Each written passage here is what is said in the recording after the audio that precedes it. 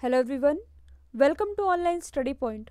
दोस्तों, आज है पाँच नवंबर और पाँच नवंबर से करंट अफेयर के जितने भी इंपॉर्टेंट क्वेश्चंस बन सकते हैं, सारे हम इस वीडियो में कवर करेंगे और सभी क्वेश्चन से रिलेटेड एक्स्ट्रा फैक्ट भी जानेंगे।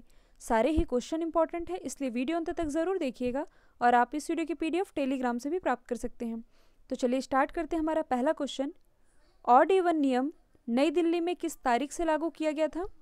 और आप सभी जानते हैं बढ़ते पॉल्यूशन के चलते दिल्ली में ऑड इवन सिस्टम फिर से लागू कर दिया गया है। और यह कब से लागू किया गया है? तो यह लागू किया गया है चार नवंबर से। और मैंने आप लोगों को कल ही बताया था, जो दिल्ली एनसीआर है। दिल्ली एनसीआर में भी हाल ही में हेल्थ इमरजेंसी भी लागू कर दी गई है। हेल्थ इमरजेंसी कहाँ लागू की गई है? दिल्ली एनसीआर में। क्योंकि यहाँ पे पॉल्यूशन कुछ ज़्यादा ही बढ़ रहा है, इसलिए यह इमरजेंसी लागू की गई है। अब आप बात करेंगे दिल्ली की तो दिल्ली किस नदी के किनारे बसा हुआ है? यह बसा हुआ है यमुना नदी के किनारे और इसी यमुना नदी पर भारत का पहला सिग्नेचर ब्रिज भी बनाया गया है। भारत का पहला सिग्नेचर ब्रिज यह बनाया गया है यमुना नदी पर ही।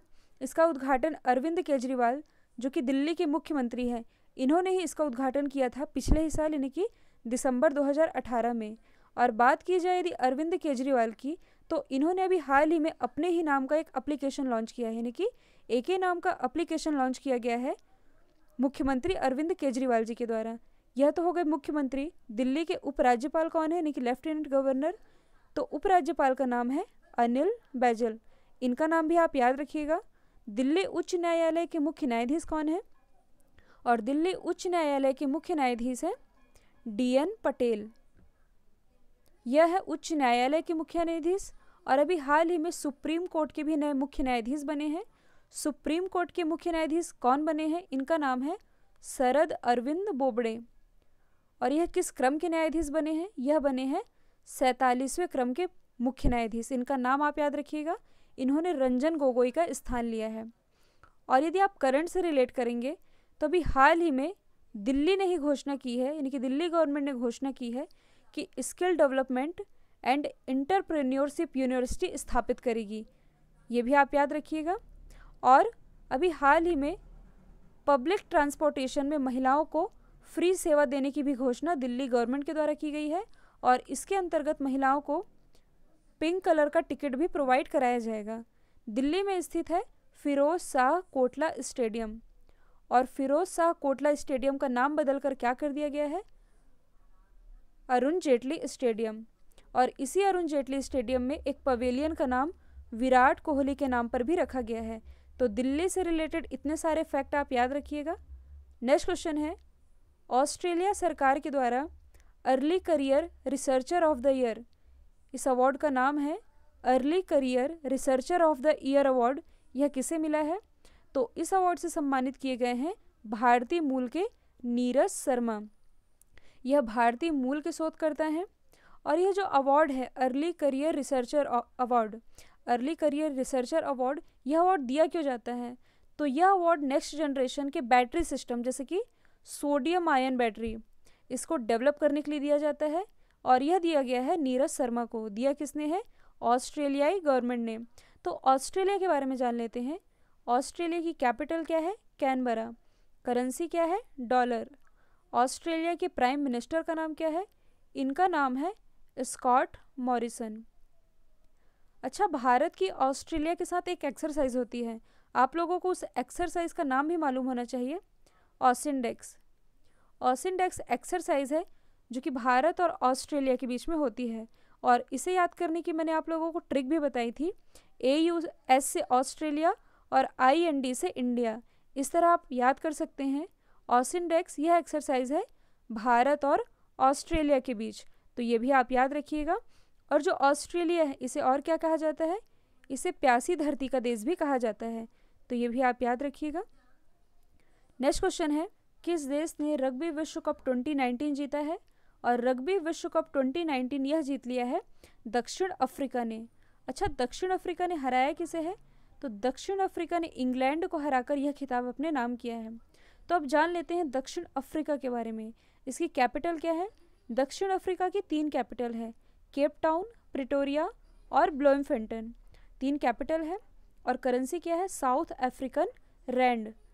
तो करेंसी का नाम भी आप याद रखिएगा। साउथ अफ्रीका के प्रेसिडेंट कौन है? प्रेसिडेंट का नाम है सिरिल रामाफोसा। और सिरिल रामाफोसा से आप लोगों को क्या याद आता है?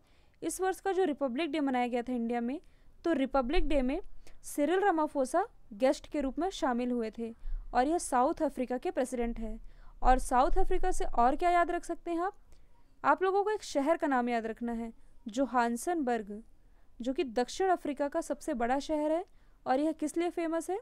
तो जोहानसनबर्ग यह फ़ेमस है विश्व में सबसे बड़ी सोने की खान के लिए। तो ये भी आप याद रखिएगा। नेक्स्ट क्वेश्चन है, कौन सा शहर राष्ट्रीय जनजाति उत्सव की मेज़बानी कर रहा है? और राष्ट्रीय जनजाति उत्सव इसकी मेज़बानी कर रहा है नई दिल्ली। और यह जो उत्सव है, राष्ट्रीय जनजाति उत्सव यह उत्सव चलने वाला है कुल पंद्रह दिनों तक। और इसकी शुरुआत कब से होगी? इसकी शुरुआत की जाएगी सोलह नवंबर से और यह पंद्रह दिनों तक चलेगा। और इस बार के राष्ट्रीय जनजाति उत्सव की थीम क्या थी? थीम है आदिवासी संस्कृति, शिल्प व्यंजन और वाणिज्य की भावना का उत्सव। इस बार की थीम है आयोजन किया जाएगा दिल्ली के द्वारा। तो दिल्ली के बारे में मैंने आप लोगों को सारे ही फैक्ट बता दिए हैं। नेक्स्ट क्वेश्चन है, हाल ही में 2019 का Italian golden saint art award यह किसे मिला है? तो Italian golden saint art award इससे सम्मानित किए जाएँगे सुदर्शन पटनायक। और इन्हें यह अवार्ड देगा कौन? तो इसके बारे में आप लोग बता दूँ कि 13 से लेकर के 18 नवंबर तक इटली में स्कोरना सेंड नाट्य उत्सव का आयोजन किया जा रहा है और इसी स्कोरना सेंड नाट्य उत्सव में सुदर्शन पटनायक को यह अवार्ड दिया जाएगा। बात की जाए यदि सुदर्शन पटनायक की तो इनसे रिलेटेड एक फैक्ट आप याद रखिएगा। 2014 में इन्हें पद्मश्री से भी सम्मानित किया जा चुका है। और यदि आप करंट से रिलेट करेंगे तो कुछ समय पहले ही सुदर्शन पटनायक को अमेरिका में पीपल चॉइस अवार्ड से भी सम्मानित किया जा चुका है। और सुदर्शन पटनायक, यह भारत के किस राज्य से बिलोंग करते हैं? तो यह बिलोंग करते हैं ओडिशा से। बात की जाए यदि ओडिशा की तो ओडिशा की राजधानी क्या है? भुवनेश्वर। और भुवनेश्वर में क्या स्थित है? भुवनेश्वर में है कलिंगा स्टेडियम।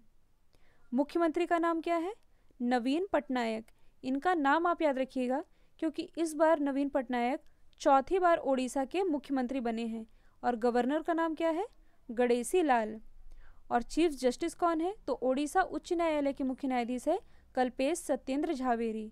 ओडिशा के बारे में मैंने फैक्ट इसलिए बताया है क्योंकि सुदर्शन पटनायक यह ओडिशा से ही बिलोंग करते हैं। नेक्स्ट क्वेश्चन है, हाल ही में किसे सत्ताईसवें एजुथ हचन पुरस्कारम 2019 के लिए चुना गया है। बहुत ही ट्रिकी नाम है। एजुथ हचन पुरस्कारम और इसके लिए चुना गया है आनंद कुमार को।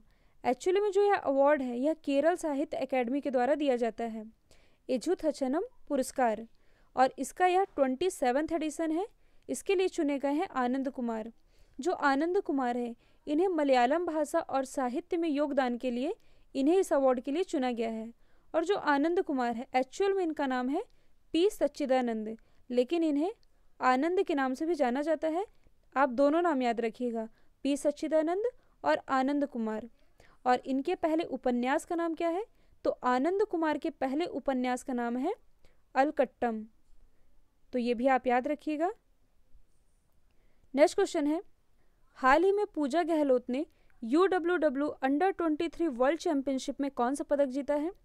और U W W under twenty three world championship में पूजा गहलोत ने जीता है रजत पदक। और यह फाइनल में किससे हारी थी? यह हारी थी हारूना ओकुना से। और हारूना ओकुना यह है कौन? तो यह जापान की एक रेसलर है और इनसे ही हारकर पूजा गहलोत ने रजत पदक अपने नाम किया है। और इन्होंने कौन सी कैटेगरी में यह मेडल जीता है? तो पूजा गहलोत ने 53 किलोग्राम कैटेगरी में सिल्वर मेडल अपने नाम किया है। अच्छा इस प्रतियोगिता का आयोजन कहाँ किया गया था? तो इसका आयोजन किया गया था बुडापेस्ट में। बात की जाए यदि बुडापेस्ट की तो कैपिटल क्या है? बुडापेस्ट की कैपिटल है हंगरी और करेंसी क्या है? हंगेरियन फॉरेंट्स तो कैपिटल और करेंसी भी आप याद रखिएगा। अब हम डिस्कस कर लेते हैं यू डब्ल्यू डब्ल्यू के बारे में। यू डब्ल्यू डब्ल्यू, इसकी फुल फॉर्म क्या होती है? United World Wrestling. इसकी स्थापना हुई थी 1912 में। मुख्यालय कहाँ स्थित है? लॉजेन स्विट्ज़रलैंड में इसका मुख्यालय है।